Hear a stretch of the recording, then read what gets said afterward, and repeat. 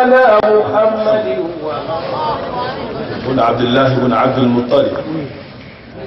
وعلى آله الطيبين الطاهرين وأصحاب غر الميامين أما بعد. إخواني في الله أحييكم بتحية الإسلام تحية الإيمان تحية أهل الجنة في الجنة. assalamu alaikum wa rahmatullahi ta'ala wa barakatuh.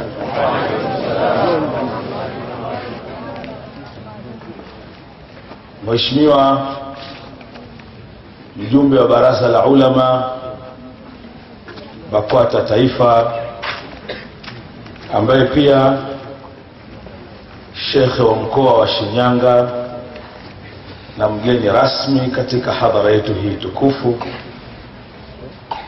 Mheshimiwa shekhe wa mkoa wa Kagera, mzee wangu na baba yangu Shekhe Harun Kichwabuta, Mheshimiwa Sheikh wa mkoa wa Simiyu, mzee wangu Sheikh Kalokola, waheshimiwa mashekhe wa wilaya wilaya Muleba, Kishapu, Bunda, Mheshimiwa makamu mwenyekiti wa Jumuiya ya Kuendeleza Qur'an na Sunna Tanzania Jikusuta Sheikh Muhammad bin Said,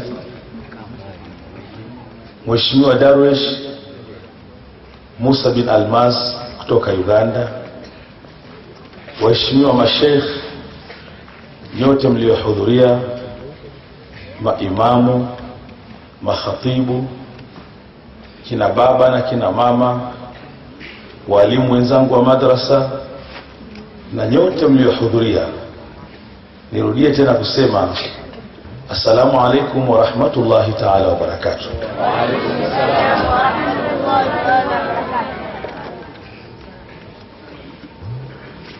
Ndugu zangu, leo ni siku tukufu sana, na utukufu wake ni kwa yale matukufu yaliyokusanyika katika uwanja huu, na hasa ni pongezi za dhati kwa ndugu zangu na ndugu zetu wa Masjidi Mufti Sheikh Isa Shabani Simba kwa kuandaa hadhara tukufu, hadhara iliyopambika na kupendeza. Hakuna jambo kubwa kama hili walilolifanya, na hasa katika ratiba ya leo wametufundisha kweli kweli mfumo mzuri wa kuandaa hadhara. Hofu yangu ilikuwa moja tu, maana yake baada ya kupita tingatinga sijui brudoza, halafu unaleta ka sijui nini? Kabajaji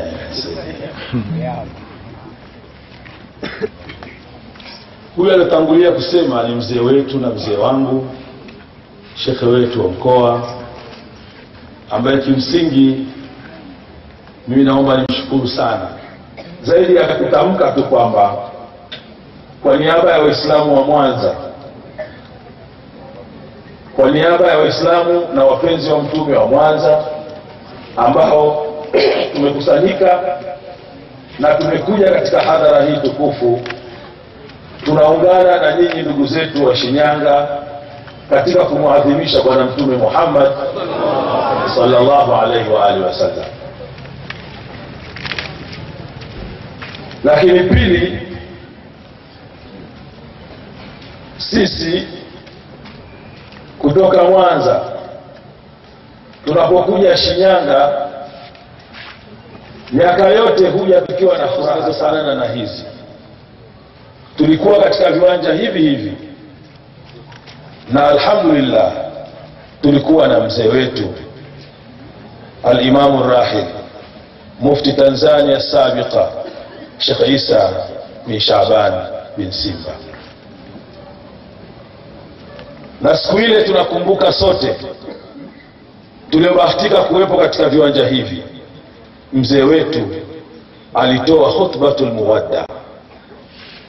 Nimepata faraja sana kuona shekhe kichwabuta amepewa nafasi kubwa toka jana mpaka leo. Tulikuwa tukiona kupitia mitandao mbalimbali. Nafurahika na nimepata faraja kwa sababu maeneo haya mawili mkoa wa kagera na mkoa wa shinyanga ni maeneo ambayo mzee wetu aliyatumia kuwaga wa tanzania nakumbuka mfungo nne ambao ni Muharram na ni mwaka ni mwezi wa kwanza wa kiislamu. Mwaka jana mzee kama kawaida yake alipenda sana kuadhimisha mwaka mpya wa kiislamu. Nakumbuka ulifanyikia kagera.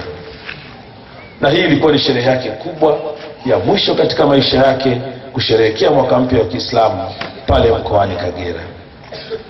Na alisema na nukuu alisema nimewaambia watu wa shinyanga na nimewaambia watu wa dar es salaam kwamba jambo hili nimeamua liende kwa wenyewe. Haya ni maneno aliyanukuu aliyasema Sheikh isa shaban simba pale kagera. Tunapokuja leo katika hadhara hii sisi watu wa mwanza tunakumbuka haya matukio mawili makubwa.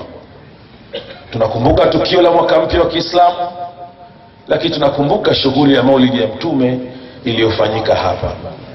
Na mzee akawa hadhiri hapa. Tunasema tunamwomba mwenyezi mungu subhanahu wa taala amrahamu mzee wetu na amweke mahala pema peponi. Baadhi yetu tulitaahari na tumechelewa kushiriki baadhi ya mambo lakini ni kwa sababu ya kazi yake yeye mufti rahel ambaye aliipenda na kuitaka sana. Kwa kazi hiyo ikatufanya baadhi yetu kuwa tumechelewa. Tunaamini kwamba tutaendelea kuwa naye siku zote katika maisha yetu katika nyoyo zetu na tutaendelea kuyaishi yale mazuri aliyokuwa akiyapenda na kuyafanya. Tumekusanyika si kwa nyingine. Ni kama alivyosema mzee wangu pale. Kilichotukusanya ni mahaba ya kumpenda bwana mtume muhammad sallallahu alaihi wasallam na sisi waislamu tumpende nani kama hatukumpenda mtume muhammad? Tumheshimu nani kama tusimheshimu nabii muhammad? Tumtangaze nani kama tusimtangaze nabii muhammad? Tumtaje nani kama tusimtaje nabii muhammad? Tumwinue nani kama tusimwinue nabii muhammadin salllahu alaihi